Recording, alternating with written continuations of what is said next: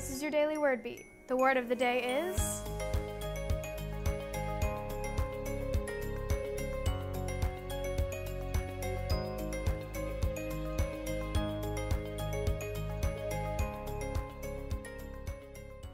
Good morning. This is your daily word beat, the perfect place to grow your health vocabulary and add a little pizzazz to the start of your day. My name is Patricia Amory from St. Mary's School. We are here at Wayne UNC Healthcare to celebrate Health Literacy Month and learn more about our hospital and the people who work here. Thanks for joining us today, Ms. Robin. Can you tell us what you do here at the hospital? Um, I do the mammograms and I also am involved in doing the breast biopsies here. What's your favorite part about what you do? Helping those that are scared to feel more comfortable in an uncomfortable situation. What's the hardest part about your job? Feeling sorry and bad for those that we find cancer, but it's a good thing too to have it done because you don't want to ignore it. You want to treat it early. That could be my family member, it could be me. So that's the hardest part. Well, thank you for taking the time to join us this morning. Ms. Robin will be helping us introduce the word of the day. So the word of the day is mammogram. M A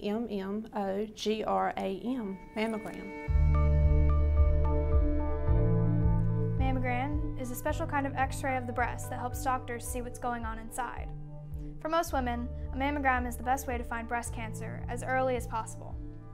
The images produced are called mammograms. The, a radiologist will carefully examine a mammogram to search for areas that look different from normal tissue and tell your doctor if there's anything to be concerned about. I would like to share if it could touch someone and make a difference in their life. Um, October is my month for my mammogram, and we had a slot, so I had mine done on Monday. And the radiologist called me and told me there was a suspicious area in my breast, so we went right ahead and did the ultrasound.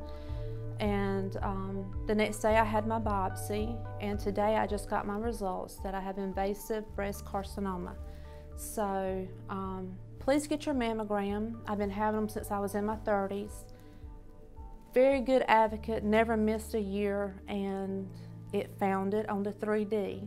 So if you don't know what 3D mammography is, it does slice images through your breast, sort of similar to a CT scan. And that's what caught mine. I have dense breast tissue, would not have shown up on a regular standard 2D mammogram. It was the slice images that found mine, and I feel like it saved my life.